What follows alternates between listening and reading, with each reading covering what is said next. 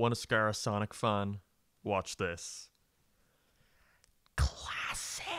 After being gone for quite some time, Classic Sonic made a triumphant return in the 2011 title Sonic Generations, a game that many considered a return to form for the character, and has since propelled this iteration of the character into mainstream popularity once again, outshining even his modern iteration. After Generations, Iizuka stated that Classic Sonic's return was a one-time only thing, and that this game marked a closed chapter in the Sonic franchise, with promise of new endeavors and adventures to come. After Boom and Lost World sunk the brand to new lows it had just crawled out of, uh, let me check my notes. Three years prior. Wow, it's like a whole new record. So now that they were once again at rock bottom, Sega had to get back into the good graces of the fandom. And how were they gonna do that? Classic Sonic for everyone! They held their 25th anniversary party in 2016 and presented all the stuff they had been working on and... Did y'all hear a buzzing? Shit, let me just... Oh, okay, there we go. Watch, watch, right, right here, right here.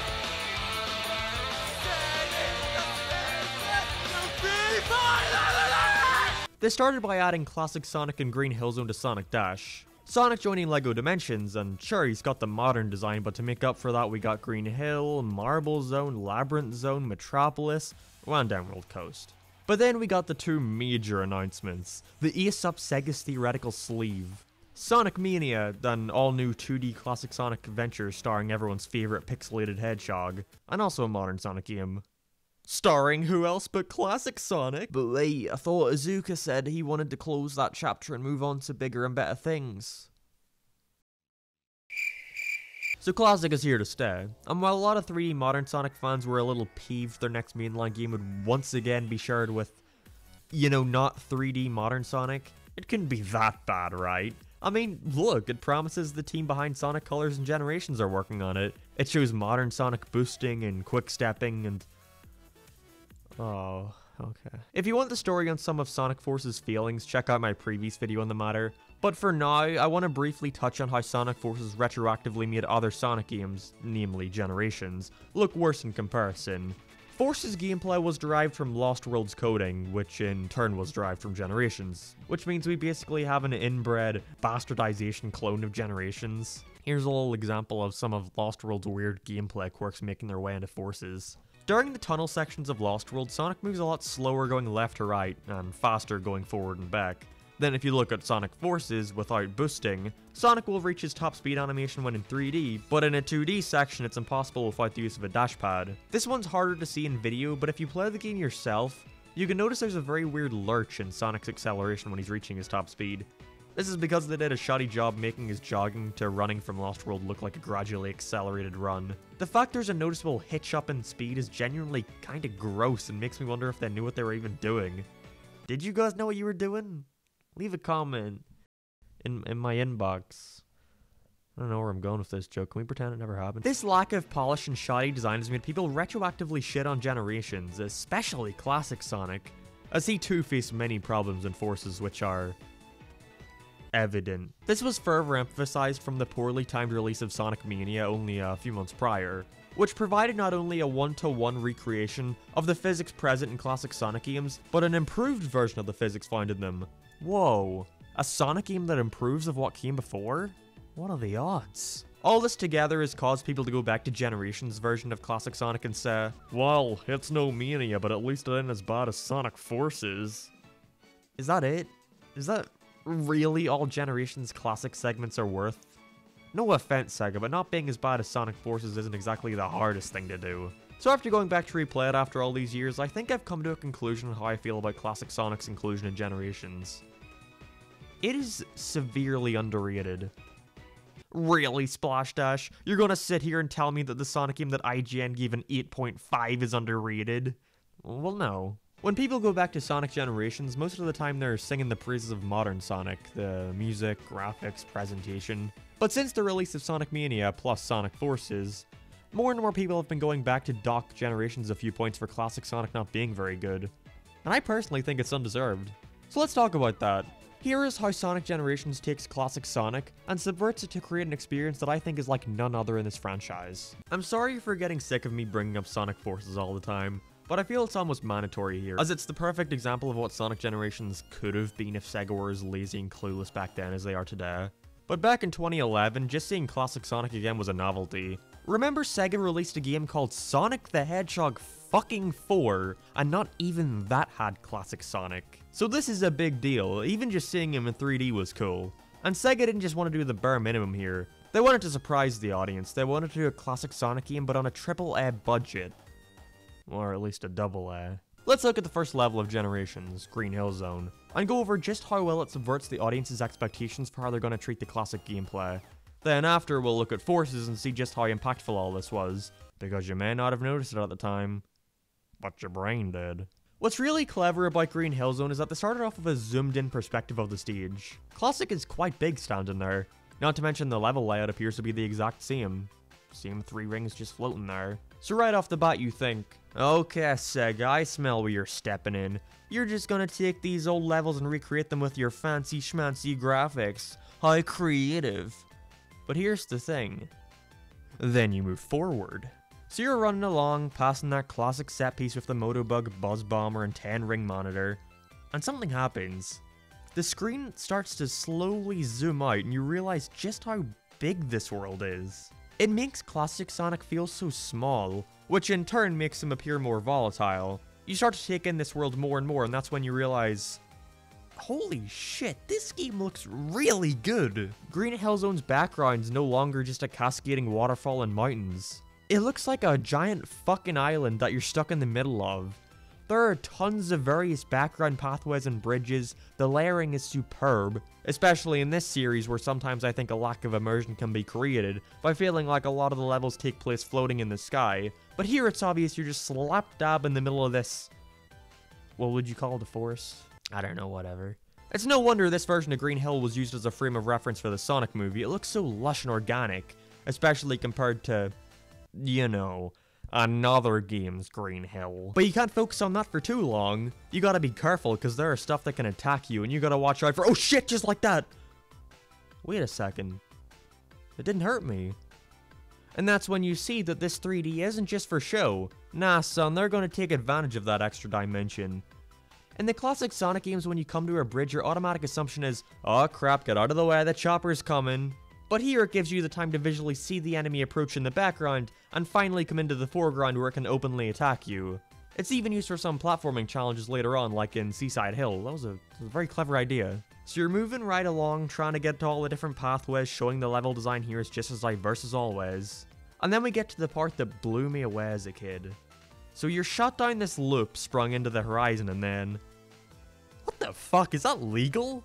Are you allowed to make a 2D game where the camera can shift into a 3D perspective like that? This obviously isn't anything groundbreaking, but when you've only seen classic Sonic portrayed like this, or this, or, or sadly this, this shit was amazing, it blew my fucking mind. It showed us that Sega were bringing classic Sonic back for one last hurrah, and they were gonna do it in motherfucking style. This method of shifting the camera's perspective does wonders in reminding the player that you're in a 3D space here, even if just limited to a 2D plane. But the game is constantly doing shit like this that manages to keep each level fresh. Scope is so important to a Sonic game, so, so important. And there are only a handful of games that make you feel that. You know what we like about the Sonic CD opening animation? It's because you've got this short little pudgy guy, and he is gonna fucking run around this whole landscape at the speed of sound like it's nothing. You know what we liked about the opening cinematic to Sonic Unleashed? It's the unstoppable force meeting an immovable object. Sonic is the unstoppable force. They do such a brilliant job at establishing how massive this armada is. Then they plop Sonic into it and he turns it to fucking shreds. That is, that is just so cool. Sonic Generations understood this beautifully. The gun truck, the clock tower, even super simple design choices go a long way. Look at the loops in the classic games. Now look at the size of this thing. We like the idea that Sonic is so powerful that he can traverse even the harshest of terrains that any other person would be killed in. And not only that, but he does it in style. Bring back the trick system, what was wrong with it? Another amazing level is Sky Sanctuary, although I won't focus on it for too long. Again, it starts with the whole zoomed in thing, love it. But throughout the entire level, Sonic is moving in and out of different planes, turning around corners in a 3D space, going all over the place, up, down, and all around. In this one still image, you can see three different pathways I could be going on. Not only does it increase replayability because while you're playing, you'll go, oh fuck, I want to go over there. But it also immerses you in the world, it feels lived in. I mean, just look at City Escape, it's the perfect example of subversion. So we all know that the gun truck chases you at the end of City Escape, that's like, it's like everyone knows that. And while that's true in the modern level, for Classic you start it fairly normally, just in some peaceful park and not a lot of robots around. And then you come up to these buildings that are just fucking annihilated by the gun truck that relentlessly chases you throughout the entire level. Taking advantage of the fact that it's in 3D by letting you see it in the background driving to catch up even having it interact with you at times by having it turn and drive towards you trying to run you over. But back to Sky Sanctuary, it then all culminates at the end with running up the building to reveal that there were three different pathways to get there the whole time. I rarely see anyone give this game the credit it deserves for the classic level design, and guess what? The controls aren't even that bad, they're just not the same. Sure, the jump is a little gimped and the roll does fuck all, but the general feel of it still works well, and the level design is built around how he controls. And come on, the spin dash is OP, but it's so fun to use. But if you still don't believe me and don't appreciate how much effort went into this game, which you better, let's do something I always end up regret saying. Let's play Sonic Forces. Ugh. Classic's first level in Forces is that dumb city, but for the sake of comparison, let's go over its iteration of Green Hill. So Green Hill in Sonic Forces starts in a very similar way to Generations, being it's the exact same layout as the original Sonic 1, and also it's very zoomed in. Then as you progress, you realize, oh, this is it. There's no slow zoom out to reveal how they're going all out with this adventure. There's no grand scale or scope to anything. You look at the background and what do you see? Mountains and sand instead of water. Just gonna just gonna show these two images and you tell me which looks more visually impressive. And to all two Sonic Forces fans who are gonna jump at me to yell, but that's the point, mo- But that's the point, Splash Dash. Green Hill has been destroyed and is desolate now. Although I find it hard to imagine a Sonic Forces fan using a word like desolate. But the thing is, we never really get a feel that through the gameplay. We never actually run on the sand. It's only ever in the background.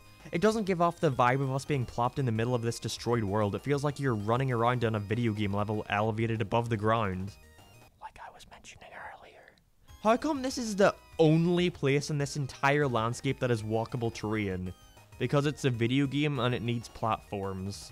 How lazy. Speaking of lazy, this world does not feel lived in at all. What the fuck is this shit? Honestly, how fucking incompetent do you have to be to think that's okay? There's so many flat, almost Lego looking blocks and platforms floating in midair that takes you right out of it.